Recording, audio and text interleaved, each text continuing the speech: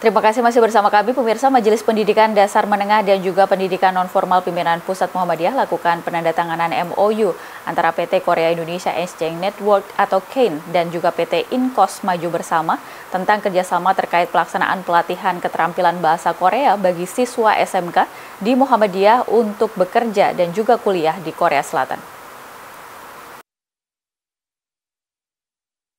Berlangsung di ruang rapat Gedung Dakwah Pimpinan Pusat Muhammadiyah Menteng, Jakarta Pusat. Sebagai bentuk menjembatani para siswa SMK Muhammadiyah untuk belajar keterampilan bahasa Korea, sekaligus untuk bekerja dan kuliah di Korea Selatan, Majelis Pendidikan Dasar Menengah dan Pendidikan Nonformal Pimpinan Pusat Muhammadiyah lakukan penandatanganan nota kesepahaman antara PT Korea Indonesia Enhanced Network atau KIN dan PT Inkos Maju Bersama Penandatanganan nota kesepahaman dilakukan secara langsung oleh Ketua Majelis Pendidikan Dasar Menengah dan Pendidikan Nonformal Pimpinan Pusat Muhammadiyah Didik Suhardi dengan Chief Executive Officer PT Korea Indonesia Enhanced Network Chang Sup Song dan Ivana selaku Director PT Inkos Maju Bersama. Ketua Majelis Pendidikan Dasar Menengah dan Pendidikan Nonformal Pimpinan Pusat Muhammadiyah Didik Suhardi mengatakan, MOU dengan antara PT Korea Indonesia Enhanced Network dan PT Inkos Maju Bersama merupakan upaya untuk memberikan kesempatan kepada siswa SMK Muhammadiyah untuk bisa mendapatkan pelatihan bahasa Korea sekaligus bekal untuk bekerja dan kuliah di Korea Selatan. Uh, perjanjian kerjasama dengan uh, OPA Opa Korea, Opa Dunia dan bekerja sama dengan Kian Indonesia.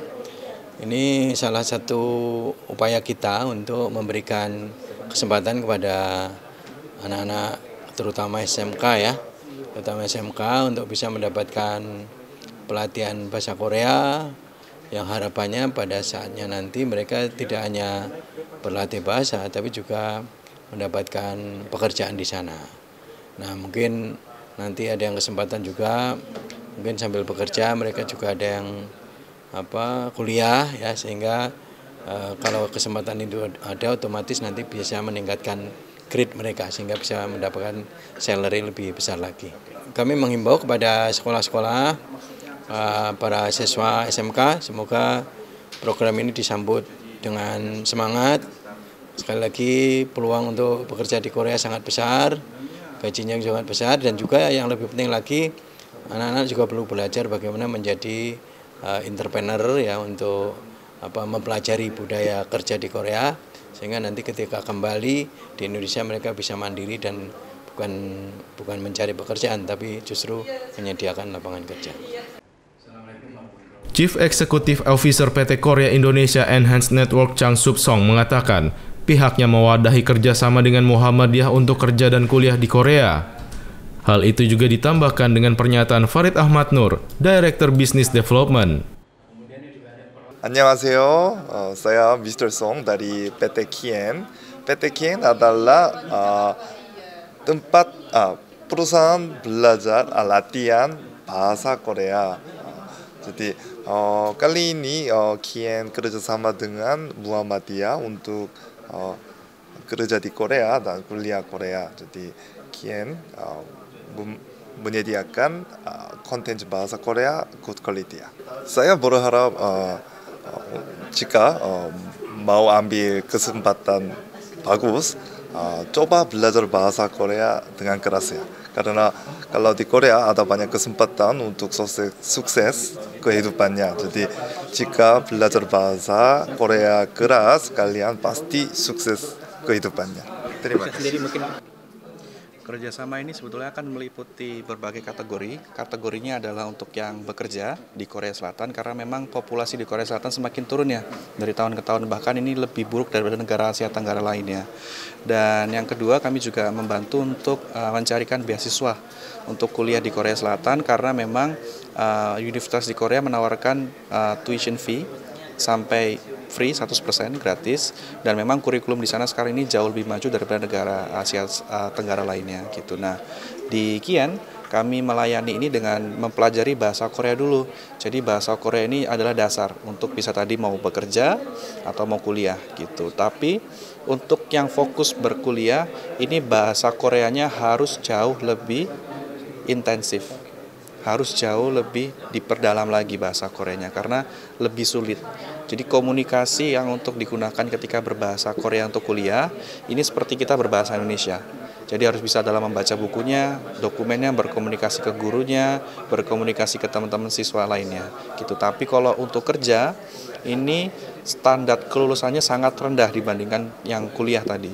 Yang penting ketika ada atasan memberikan perintah, ini kita mengerti saja itu sudah cukup gitu. Nah, untuk yang bekerja sendiri itu UMR-nya upah minimumnya Korea Selatan itu lima kalinya DKI Jakarta gitu. Jadi walaupun seperti itu belum ditambah dengan lembur gitu. Nah seperti teman-teman kita yang udah lulus, teman-teman dari uh, belajar di uh, belajar bahasa Korea ini, mereka bisa mengantongi sampai 45 juta satu bulan gitu. Jadi nggak nggak lama juga mereka bisa langsung punya bisnis ya di Indonesia gitu ketika kirim uang ke orang tua.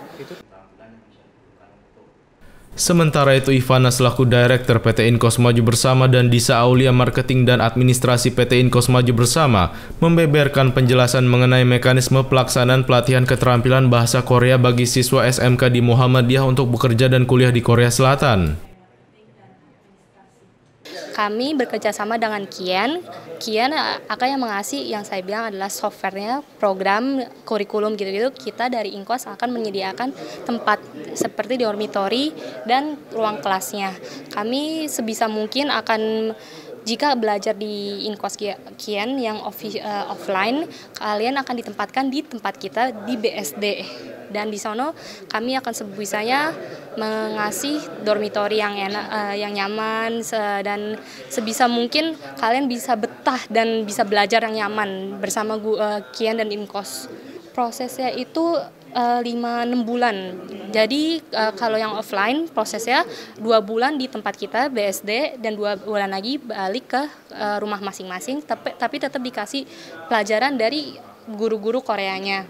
Terus nanti sebelum uh, ulangan dari penempatan ujian penempatannya akan balik lagi ke BC Plaza yang untuk eh BC Plaza BSD tempat kita yang buat lebih intens.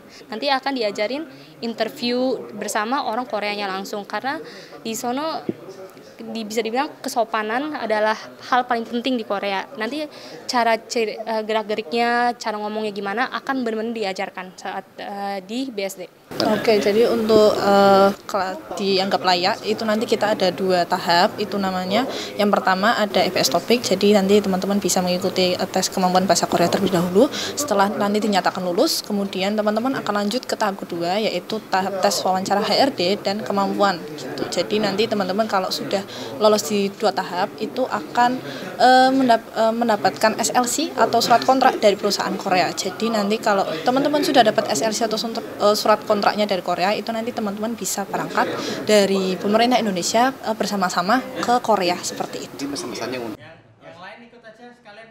Dengan dilakukannya penandatanganan nota kesepahaman ini diharapkan para siswa dan siswi SMK Muhammadiyah yang ingin belajar bahasa Korea dapat melanjutkan kuliah maupun kerja di Korea Selatan. Kohar Arizki, Trio Prasetyo memberitakan dari Jakarta.